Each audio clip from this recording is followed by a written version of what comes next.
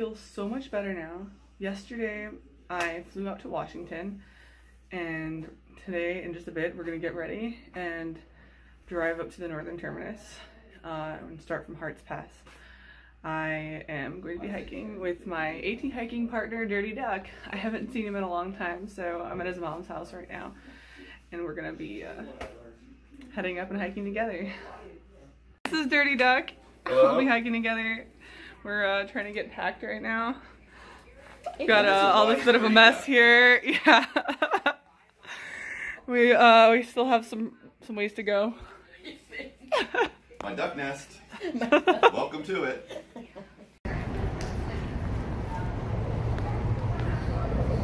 I think Christmas It's pretty cool.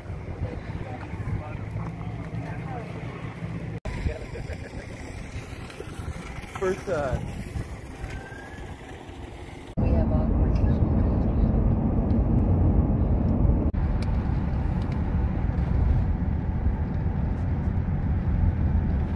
Drove most of the way to Slate Peak, which is up there, just past Harts Pass. It is so beautiful. I actually wasn't expecting to see snow again, but the different mountains out in the distance still have snow on them. And then over here on this side, there's snow down there as well. But this is the amount of snow that I could deal with.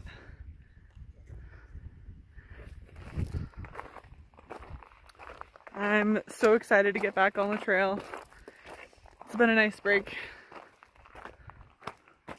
Duck and I finally made it on the trail. Here's Duck. Rocking his visors, making sure he didn't forget his phone.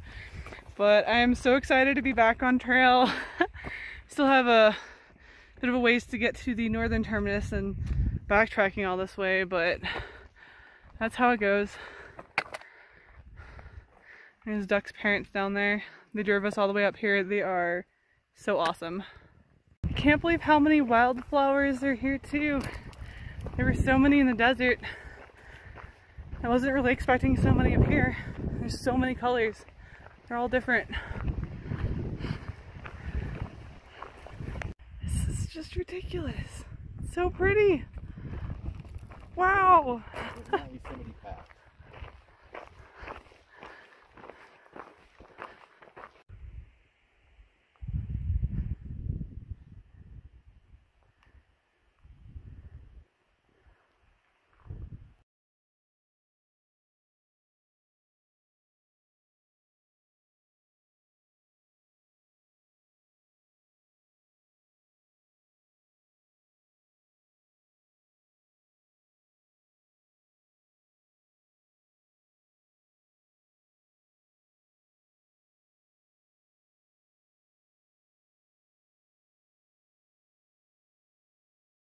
Some monsters this morning. We couldn't finish them, so we're just gonna be hiking down the trail, drinking some monster. So this is the first bit of fire damage that I'm seeing. Last year, this section was closed. It's a fire closure. You couldn't walk through. Um, Dirty Duck had to skip this section and take the fire alternative route. This is his first time hiking it. I'm really glad it's open now. So far, this section has been so beautiful. But according to Guthooks, it looks like there's going to be more up ahead. I guess we got to a bigger burn area. These are blackened trees.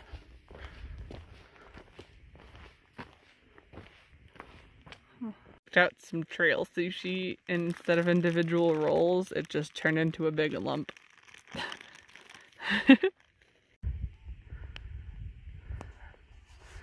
Well I definitely lost my trail legs since I've been off the trail. My uh, tendons on my inner thighs are definitely bothering me. They're uh, pretty painful. We're trying to do 15 today. I might could do 15 it's we did 10 miles before noon, but hopefully the next day or two, that'll, that pain will go away. It's like painful when I lift up my thighs. or my legs. Like, so going uphill is more painful. Otherwise, today's just been like really pretty. I met someone earlier who already made it to the border and back and told me to touch these. They're really soft. And they are. They're like silky soft. They're interesting. They're like down feathers, but like Yeah, they are. sticky. Did you touch one? Yeah. It's like down, but like sticky down, but not like too sticky. I don't know. No, it's like smooth and silky. Just, yeah, just pet them. Getting closer to some snow. It's like little uh, bits and pieces along the trail. We are su surrounded by marmots. They are all over the place. There's one there. There's one right there just laying down. Looks like a guinea pig. There's a one up there on that rock. They're all just chilling out.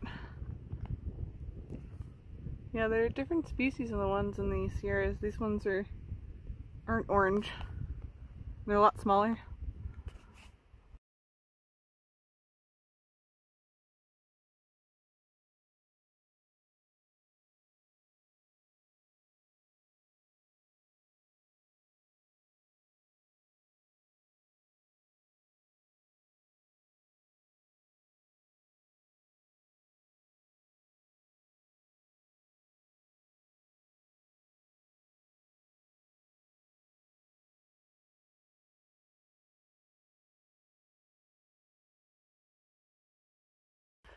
Yesterday I definitely picked up a cold.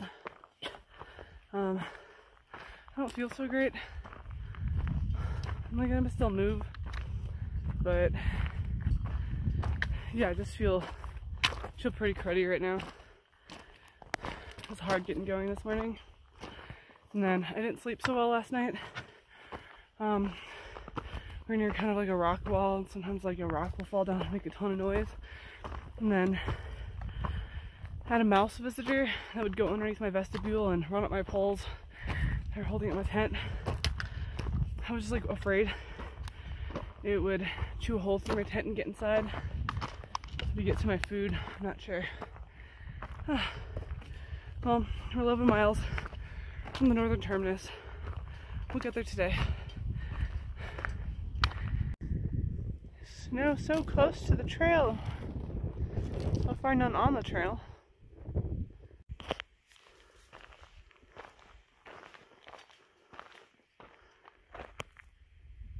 It's the first time that the trail goes through snow. Picks up over there. So we can go around it, or do you want to walk on the snow, Doc? Let's walk on the snow just to do it.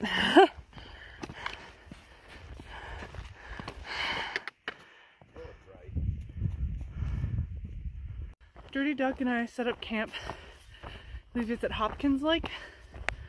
And decided to slack pack to the border six miles from there. So, I think it's six and a half. So, it'll be a 13 mile slack pack. Definitely have a nasty head cold. My, uh, just feel really dizzy. My head is like super stuffy. Sore throat just achy. Uh, not the way I want to start this trail.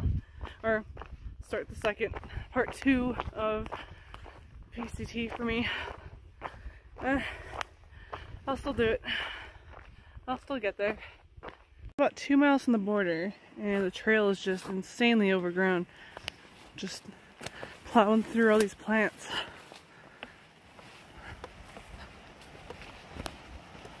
Yeah, the last few northernmost miles of the PCT really need some maintenance.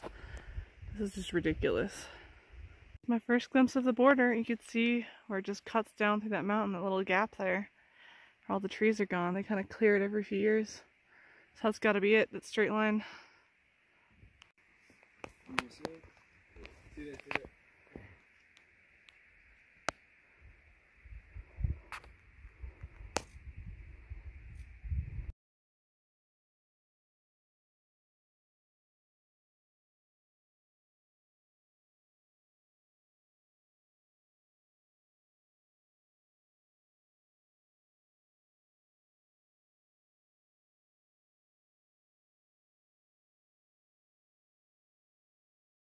And continuing the long walk back the 30 miles where we came from. This time Sobo. Honestly, the trail was just so beautiful on the way here and I really don't mind it. Wouldn't mind seeing everything a second time.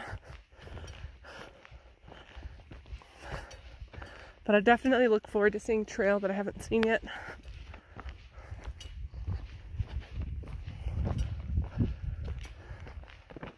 These little patches of snow that we passed on the way down are noticeably smaller. They have definitely melted in the past two days. Well, yesterday when I was at the border, there's a uh, log book. It's like sign your name and put some information down. I wasn't sure what name to put down. Um, on the Appalachian Trail, my trail name was Mishap. Now, when I started the PCT, I didn't want to go by Mishap because I didn't want to have mishaps. That just seemed to be a reoccurring theme on the Appalachian Trail that I would just keep having mishaps. All this terrible stuff just kept happening to me.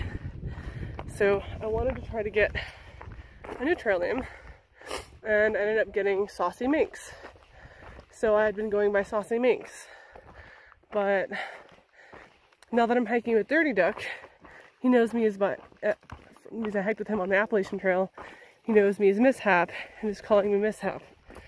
So I'm not really sure. Should I go by Mishap or Saucy Minx? I uh, ended up writing Mishap slash Saucy Minx in the logbook. So I think either of them. But it's kind of conflicting.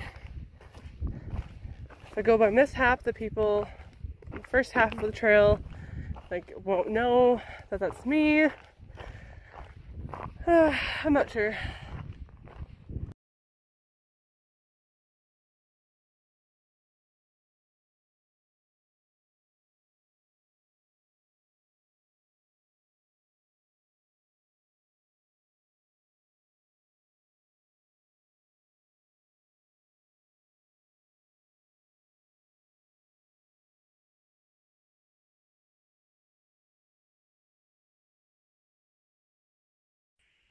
Mm-hmm.